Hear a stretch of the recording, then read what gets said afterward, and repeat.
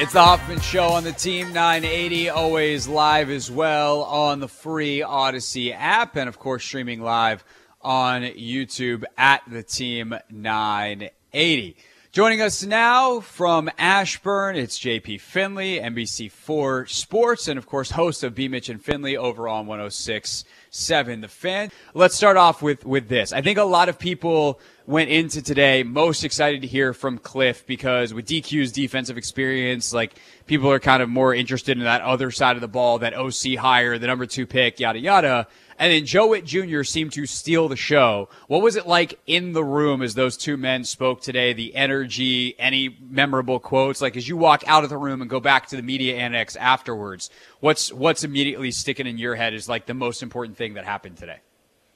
I, I think you nailed it on kind of the, the tone of the day. Everybody was ready to be wowed by Kingsbury talking quarterbacks and offensive systems and what is this thing going to look like. And I don't fault him for it at all.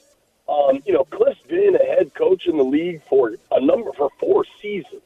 He's done these things so many times that I can't imagine he was too excited to talk to us today. Like it was more of like a a perfunctory measure than it was something that he was looking forward to.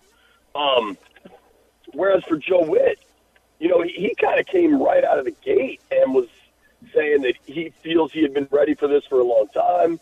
Um, and, and the thing that stood out to me with Joe Whitt was obviously kind of his passion, his energy level, and that I, I feel like is similar to what stood out to me listening to Dan Quinn talk. And and you could see how those two really seem to like mesh well and and, and have a, a shared vision. But honestly, Craig, the, the thing that stood out to me most with Whitt was a, kind of a a story he told where he, explained that he's dis, he's dyslexic, and because of that, he realizes that like he learns differently, and that in turn he has to maybe coach different players differently, and he has to meet them where they are. Was what he said and I just found that really refreshing from a, a previous regime that was pre- pretty straightforward. Like, this is how we do it, figure out how we do it. And um, I don't know, I, I appreciated, I, I suppose that's not vulnerability, it's just telling, opening up, perhaps. And, and I thought it was uh, a really telling moment of how somebody can connect with players and and find them in their own space to make them better and to make the unit more cohesive. No, I 100% agree that that was the most important thing that was said today at that press conference because there's an understanding, and it was kind of followed up with that quote. I'm, I'm going to paraphrase here, but basically, like, if a player's not learning, that's not the player's fault. That's on us as coaches.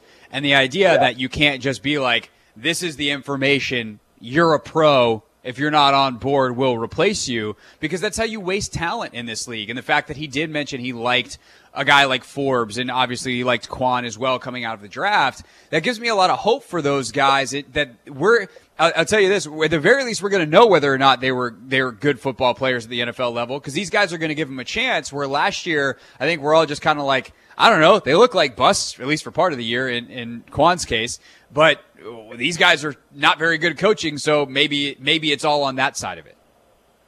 Yeah, I, I, I totally agree with you. And, and think about what we all perceive to be really talented players on that defensive front that at times have shown that, and at other times it seemed eh, fairly pedestrian. Like how much of that has been previous team or a lack of talent development, and how much of it, it could still be the players. Maybe we'll find out. I, I think one important part of this exercise is also to remind ourselves, like four years ago, plenty of people were excited about Jack Del Rio, and last year, plenty of people were excited about Eric Bieniemy. So, you know, today is an introduction to a coach and, and perhaps some principles and some insight. But I, I thought Joe Whitt, the person, was really interesting. Um, he, he, he told the story about, you know, a lot of coaches like to stick around really late, but I, I don't do that. Like, to me, if you're sticking around late, it means you cheated yourself during the day. And I'd rather just go all out all day, and then when it's time to leave, it's time to leave. And I, I can appreciate that because I do think on some level, like some politics get involved. Like, oh, the head coach's light's still on, so I got to just stay here until he goes home. And like, yes. I think we saw so much perception mattering in the last regime that didn't matter. That, I, that I'd like to see less of it. And, and honestly, I mean, even Kliff, I would say, neither of these guys seem to care about perception today.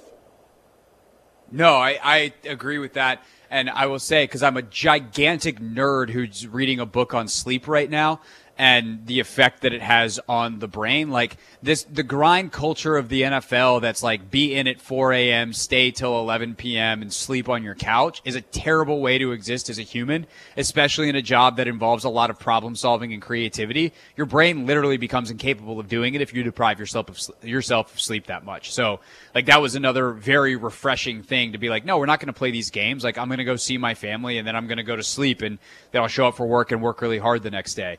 Uh, Um, again, am I a gigantic nerd who's read a book on sleep? Sure. Is that also how every human being's brain works? Yes. So that seems like an important thing. Uh, JP Finlay is with us here on the Hoffman Show. Um, one thing that I thought was interesting, both on Kliff's side and on Joe Whitt Jr.'s side. Let's talk about it from Whitt's side first, and then we'll circle around and talk about the offense. Is they both seem committed to almost nothing schematically. Um, when when they you know it, as DQ did was like you know four three three four doesn't matter to me. Like is this team on the verge of switching fronts all of a sudden? And what would that mean for what they have? Or do you think this is just a bunch of lip service because they don't really know what they're going to do yet and they're trying to keep the, the options as open as possible? Um, I didn't hear that as switching the base defense. I, for me, and I've kind of been shouting this for a while. Like teams play so little base defense anyway that it's become more of like a, a talking point for fans and stuff than it is a reality. Sure. I think his point was more like, man, everybody plays cover two or cover three or quarters or whatever it is. Like there's always going to be variations, but it's not like we're going to reinvent the wheel with some sort of defensive alignment that will change everything. It was kind of my understanding of it. Um, what I found really interesting was, and he said this early, was that, you know, he just led a staff meeting letting everybody know we're going to do things differently. Kind of, we expect violence and we expect super physicality. And I, I, that almost sounds like he's letting players know to expect that. And, I, you know, that I find really interesting because I didn't think they were all that physical at the point of attack defensively. And I think, I mean, Curl was probably the best tackler, and then I think Kendall Fuller was decent in run support, but BSJ and certainly Forbes that wasn't a real strength. Like this dude knows his DBs, and it's going to be all over his DBs. And I think there's some level of like an immediate challenge to these guys. Like um, this is going to have to look a lot different if you're going to be on the field for me. JP Finlay, of course, B. Mitch and Finlay on 106.7 The Fan is with us. Um, is there anything else from Whitt's presser, schematically, attitudinally, coaching wise, or anybody else on staff on that side of the ball before we flip it over to Kliff in the offense that you think is worth noting as we finally got the full staff announcement earlier today and then heard from Joe Whitt Jr. from the first time? Um, I mean, I, am excited to see Ken Norton. Um, I also think, just anecdotally, Joe Whitt saying his favorite player ever is Sean Taylor and then I was told later that he has a framed Sean Taylor jersey at his house. Like, I just think that's kind of a, a cool, random, serendipitous, full circle moment. I think there's a lot of people about Joe Whitt's age, that, especially if you played secondary, that, that Sean's your favorite player. But I, I just thought that was kind of neat. Um, but beyond that, happy to go to Kliff and, and maybe more so what we like didn't learn than did. Yeah. So Kliff seems like he's just kind of getting a bunch of smart dudes in the building and then they're going to figure it out, which I don't know how he sold that in the interview process. Hey, what's your plan? I don't know. We'll just hire some guys and then we'll, then we'll come up with one. Okay, cool. But that's kind of the impression I got out of it, which is both exciting because they can play to their personnel, but also terrifying because I would like a little bit of structure. I would think to be in place when I hire an offensive coordinator. What did what did you make of the things that again? To, I think you phrased that well. The things that we learned and the things that we didn't. I highly doubt he told us the same stuff he told Dan Quinn. That is probably think, also a good point. I think because I can understand why he would be. But I thought he was fairly disinterested today, especially in divulging any sort of information. Or I don't think he wanted to talk Arizona. I don't think he wanted to talk Kyler. I don't think he wanted to talk how he landed here instead of the Raiders. Like any of, I, it seemed to me that he wanted to avoid anything that would create a headline on ProFootballTalk.com, and I I can kind of understand that for him. Um, perhaps I'd say the thing that I have thought this throughout the process, and I continue to think it today after that presser. Um, I, I think it's overly simplistic to say, well, Kliff coached Caleb at USC. Of course, they're going to make a big play to go get him. I, I don't. I think that what like that is just far too linear of an approach. And, and the fact that he mentioned a guy like Lamar today in, in what you want in a quarterback, to me, opens that up a lot broader. Um, and, and I just, I'm kind of pushed back against that. Now, if, if Caleb gets to number two, I think it changes. But, like, I just, I don't think, oh, they hired Kingsbury, they're going to trade up to number one to get Caleb. And I, I feel better in that today. I I've been with you on that for a while now. Although it was uh, wacky. I don't know if you saw that Logan and I did our first uh, take command uh, mock draft the other day, and we used PFF's mock draft simulator. And like, I wound up having to hit the start button like five times, and I think three of the five were Drake Maye as number one. And I was like, well, if that happens, that'd be cool. But uh, yeah, I mean, seems unlikely. We don't know what's going to happen. Yeah, I mean, we'll we'll find out a lot more over the next couple weeks when we head to Indy. But I, I definitely feel like if Chicago plays their cards right, either they or someone else is taking Caleb at one. What did you make of Kliff saying that uh, he would not call what the offense is going to be, whatever it is going to be, air raid anymore? I think that's actually accurate. And if anybody's going to understand what that air raid truly was, or, or perhaps still is, would be Kingsbury, who played at it and then coached it. Um, I mean, that real air raid stuff that Mike Leach was running when you had all those dudes at Texas Tech throwing for like 6,000 yards and then being fifth round picks. I mean, go back and look at some of those names. We did this on the podcast the other day. Obviously, everybody remembers that catch Michael Crabtree made against Texas, right? Yep. In that just inbound. Do you remember who the quarterback on that team was? Was that was that a that wasn't Kliff, was it? That was after Kliff, right? Correct. That was a dude you've never heard of that didn't make a lick of difference. Was, it, was that Graham Harrell? That was Harrell, yes, sir. Right. Hell yeah! Don't tell me I don't know my old 2000 whatever year that was Texas Tech quarterbacks.